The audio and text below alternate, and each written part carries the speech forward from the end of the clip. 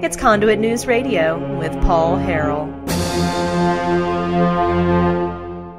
All right. Welcome back to the program. We have uh, in studio with we got State Representative Dan Sullivan is back with us. Dan, thanks for being with us, sir. Paul, good to be here, and I appreciate it. You know, I've been listening to your guests this morning. You've really gotten a lot of wonderful guests on your show. Oh, I appreciate that. And you know, I was conduit sometimes gets a pretty good bad rap on things.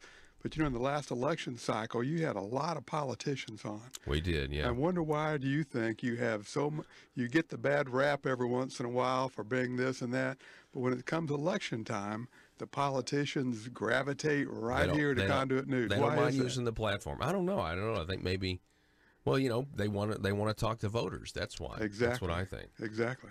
Um, so we're talking to State Representative Dan Sullivan. Dan, you uh, were recently. First of all, let's get your take. Midterm elections. What do you think? Uh, what was your general uh, thought?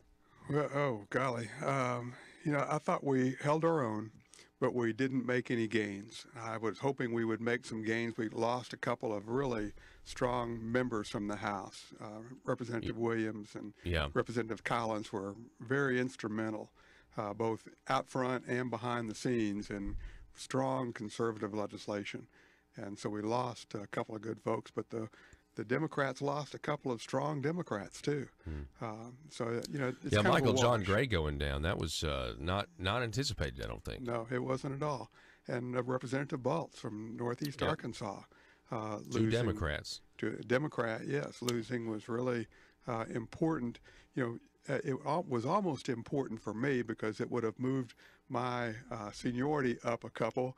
But since that makes no difference anymore, Right, right, it right. doesn't really help. Well, so basically, the balance of power in the House is the same. You lose two Republicans to Democrats, and two Democrats lose to two Republicans, and Correct. so it's Right. the it's the same makeup there. Super majority. That's Yeah, and I, I tell you, we've really got good leadership in the House now with Marcus Richmond and Brandt Smith. You know, and so so thankful we got two strong conservatives in there, honest men uh, who will work for conservative values. So, you know, I look forward to the session coming and uh, look forward to what we're going to try to accomplish. all right. So let's get some of this audio here. This is what what is this audio, Dan? This is from Medicaid subcommittee you're chairman of, I'm right? chairman of the Medicaid Legislative Audit Subcommittee on Medicaid, yes. And we had heard some uh, words uh, to the effect of, we've had a glitch in a system, but don't worry about it. And, uh, you know, I heard the word glitch and I just wanted to dig a little bit deeper. Well, what what what is it? What is the glitch? Well, we run what's called a Paris match, like the city, and I think we may have talked about that on the show before. That far, we run that yearly. It, it matches the Arkansas Medicaid recipients to Medicaid recipients in all 50 states. So then we get a report back, and that tells us how many people uh, popped on the or showed up on that report. It may be 30, 20,000 or so. Uh, and then we investigate and we find out how many are actually receiving Medicaid benefits, are listed as receiving benefits in multiple states. Uh, in 2017, we found 30 some thousand people. and. We kicked off 25,000 and kept 7,000 who deserved it. Uh, we didn't run the report first quarter of 2018 nor second quarter of 2018.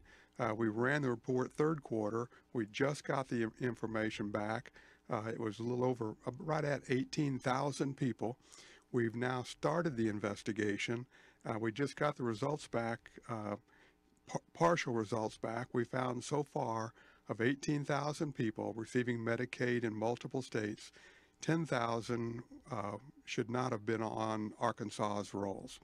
So we're getting kicking off 10,000. We found about a little over, I think, 2,500 who are legitimate in Arkansas, and we still have a couple of thousand more to go. Bottom line, we have at least 10,000 people that we have been paying uh, Medicaid benefits to or eligible for Medicaid benefits.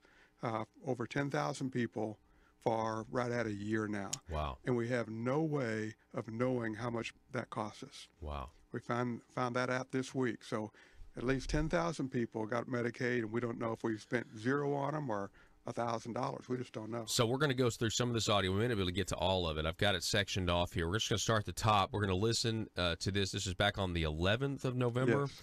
and then you can kind of tell us what what was what this is about. Give us the Sure. context. All right. So Sure. go ahead, Joe, whenever you're ready. Mr. Chair, you're asking a lot for 100% to go on, a- on that big of a Well, change. I'm only asking what you promised. In the last meeting, I asked you if we were 100% ready to go. Right. And the smart people sitting behind you in a private meeting said, we are 100% online, ready to go for sure. Are we still there? To break some of this out, let me, let me talk about Well, the just- billing from providers. Uh, No, Again, I can't- appreciate it. I I'm just not going wanna- to sit here and say we're I don't want to 100% dig to go on into, everything. well, but. I don't want to dig into um, the details of this. That's for public health. Right. Uh, I just, I've so been of the- told we're ready to go. Are we or aren't we? I want to say one of the things you're asking me, though, is on the billing, providers billing, and providers will not bill DHS directly, they'll bill to the PASSEs. And we do not establish the billing between the PASSEs and the providers, so whether I'm sworn in or not, I can't sit here and say that that's 100% Okay, well, let me go, because respond to we're not in that, charge of because the issue is not the, only the provider, it's the patient. Yes, sir. So if we're I not agree. able to, and we're at this as a team, and our legislative responsibility is not only to the business, but the greater responsibility is to the taxpayers who are paying for the system and to the beneficiaries who are receiving the services. So if this doesn't work, then the taxpayers have invested a lot of money in the system, and, um, and the patients are going to miss out on the services. So do you- do you think we're ready for a successful launch or not? I believe we're ready for a successful launch. Okay? And you have letters, I think, from three PASSEs or two PASSEs that are requesting a delay until April. Asked And, for a delay to April 1st, yes, sir. and they have listed the same things I've listed here, and you think those, their concerns are, um, I don't want to say meritless, I'd like to, but you think those concerns are, um, why would they be having those concerns when you don't? I've always, I mean, everybody would like to put things off a little bit. You know, I'm, I'm never exactly ready to leave the house. When I leave the house in the morning, I have to go back and get my keys sometimes. You know, and, and giving myself time, usually end up walking out without my keys anyway. All I right, go back let's go get ahead them. and So I can't sit here and say, I that- kind of figure out where that's going. Uh, we can kind of figure out where that's going. Uh, so th- that was who was that you were talking to, Dan? That was Kelly Link, who is the legislative liaison for DHS. And, you know, the, we're getting ready to go, move into a managed care model. Uh, and there's more information breaking on this. And I th- I've got an email we may post on the Conduit website if you read it. Uh, but I, the people who are providing the services don't think we're ready to launch. They've asked for a delay. The DHS and the executive branch of governor uh, met with the PASSEs and with the parents, and they say they're ready to launch um, and start this new managed care model. It's a tremendous change in how we've done business. Uh, there have been delays in information, but the bottom line is DHS is on record now as saying this is ready to launch successfully. Where Mr. Link and I disagreed was, you know, the um, the bottom line is we have a responsibility to our patients, the people who are receiving the services. A successful launch doesn't mean DHS has done all they can do. A successful launch means all the players, the DHS, the patients, the legislature, we're all ready to move forward together. That's the definition of success. Not that DHS or the government is ready, but that the patients will receive a continuity of care that's in their best interest. And that date is January 1st, and I guess we'll just have to wait and see. Mm, wow. talking with State Representative Dan Sullivan. Cue up this next clip. But what is this next one about? And uh, we'll get Dan to respond to it. Yeah, what does it say? Oh yeah, this is about. Uh, I think this is. Uh, this is. Uh, I guess uh, Hickey asking for 40 days. Yeah, go ahead and play. Play this. 40 days. Senator Hickey, go ahead. just short one. I want to make sure, because we've said that we were doing this by around October 31st, and I know that the- there's a date. I believe that we've said that we should have a, an answer back from CMS on this stuff. Is it 48 to 50 days? Was that the number that was given? Something along those lines. Is that correct? Okay. Because what I don't want to happen is 50 days to roll up here and we're back down here doing this again. I just want to know, that Okay. is there a deadline or is that not reasonable? Just, I'm sorry, thank you. Uh, In terms of what uh, All right, go ahead. Stop. we would expect. Explain that. would- What is what is that? What is that going Sen- on there? Senator Hickey is the chair of audit, and, and we had uh, an audit finding with $415 million that federal CMS said you can't acc- account for this. So we broke that down, and DHS and Medicaid worked with CMS, Center for Medical Services, Medicaid Services, uh, and uh, they got it down to 28 million, close to 28 million, that we couldn't account for. And so the, uh, I think early, and Senator Hickey mentioned it, early in October, we were told as an audit committee that we would have this 28 million resolved by the end of the month, that we had to submit a final report and it would be resolved. So this committee meeting happens that you're listening to happened on November 1st Interesting. and they didn't have the information. so we as a, and that's what my subcommittee was also investigating. Um, and all we were saying there is you told us it would be done by the 20, by the 31st of October. It's not done. Wow. So when will it be done? And they pushed it back. Now, on on DHS's behalf, you know, if we owe 28 million dollars, we don't want to pay it back if we don't have to. Yeah, like back to the feds. You mean? Yeah, yeah, we don't we don't want to reimburse that money. Just like I don't pay my my utility bill until the thirtieth of the month. Uh, if I have a if, uh, on my taxes, I don't pay my taxes till the end. So t- to DHS's uh, favor, they're working as hard as they can to save the state the twenty-eight million dollars that we really didn't have the accounting procedures in place to do that. Um, again, the committee is just asking for, you know, what are you doing? Our role is oversight, and we would we want to know what you're doing, why you're doing it, and be sure that you're following the right procedures. Especially when they give you a deadline, say this will be done, and then it's not done. That's got to be frustrating. Exactly. And we were asked after the meeting, why is it that the legislature doesn't trust or the audit and the legislature doesn't trust um, DHS? Well, if you've been here for a few years, you, you know why. Uh, you know, just like we were told that 18,000 people, we didn't run the Paris match. And oh, by the way, don't worry, Representative Sullivan, it was just a glitch. No- nothing to see here. But until we dig into that, there They, is they need to something know see. as a state agency that this friction is appropriate. It's Absolutely. necessary. Absolutely. Joe, uh, cue up the next one. What does the next one say? Title? This is about the Paris match. Yeah. Uh, let, let- I want to listen to this. Listen to this. Thank you. Um, This is Dan Sullivan here. Yeah, part of where this originated with me particularly was when we had the Paris match and we failed to do those. I'm seeing that as, and I, from my research, there are, what I looked at, there were only, depending on the year, three to six states who don't participate in that. It's the norm that people participate in that Paris match. Would that be accurate? Well, again, the Paris match, uh, again, states came into it over time in large part based on how much they could invest in their computer systems. And when the fe- federal government under the previous administration started offering a more generous 90% match uh, on computer systems, you saw a much quicker uptake. And again, you, but a 10% match in Arkansas is still a lot of money. And um, uh, I, I I think it is fair to say states differed by their ability to put up their match. And in re- more recent years, we were better able to do, do that because Okay, of you more stop. generous match. Stop right Yeah, when. I've looked at that, I All right, think. Dan, um, go ahead. Yeah, that, that's getting into, you know, anytime government gets as big as it is, um, we are going to have these errors. And Medicaid is working as hard as they can to resolve those issues and those errors.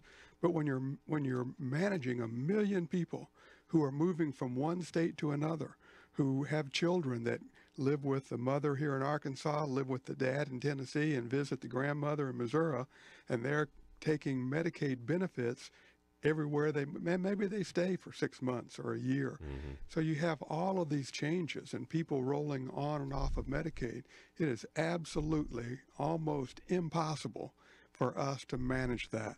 So when we have 18,000 people who are uh, are hitting in multiple states, it can't be a surprise to us when we expand government. Yeah. And you know, Paul, well, I'm hoping So, so the government expands, and then you got to have the the the management, the oversight expand Yeah. to to try to make it happen. Yeah, So- most of the time we talk about the five hundred dollars a month for Arkansas Works, but there's also that management cost in there that's just tremendous.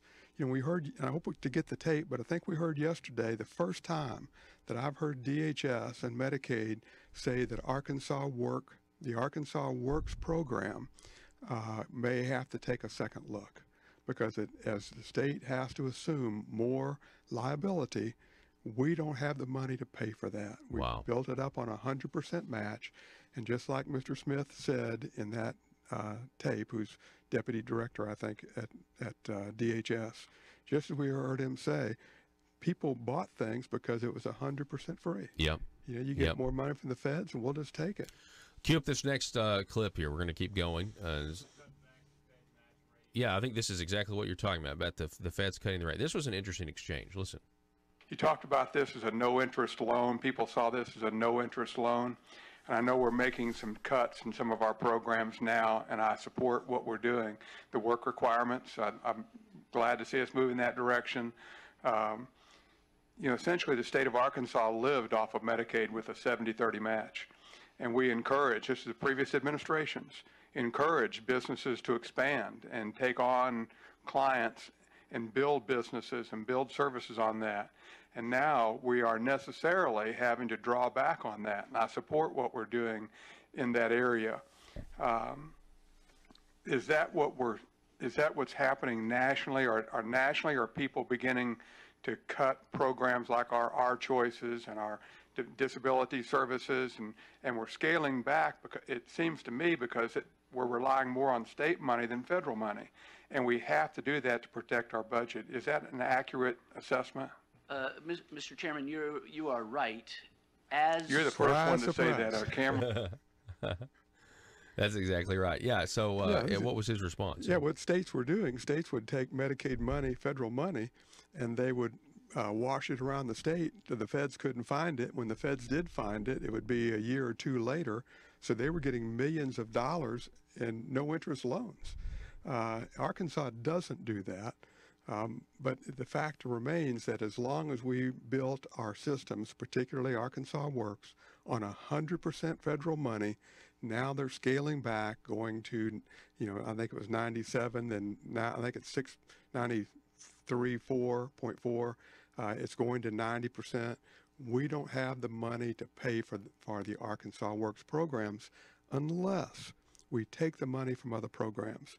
What other programs are we taking the money for? It appears we're taking the money from uh, programs that were funded primarily by state general revenue. So programs for our disabled, uh, programs for the elderly, uh, rather than those programs get state money, which they always did, now that state money has to be used to pay for Arkansas Works. Hence, my understanding from yesterday's testimony by DHS, we're going to have to take a look at Arkansas Works because it's that state general revenue going there is to the detriment of very needy programs. You know, we're using state And general. DHS said this yesterday. Well, I need to get the audio uh, because it's a little bit cryptic, and we're going to have to dig into it and ask some okay. questions. Okay. Okay. I got you. The one more clip, just one more clip, and then we'll get. Uh, we're here with State Representative Dan Sullivan. Just the next one, the next one in line there. Let's see. what As got. the federal match rate has, um, is declining, uh, then the states do have to put up a larger share, and that's where you see them now trying to adjust their programs.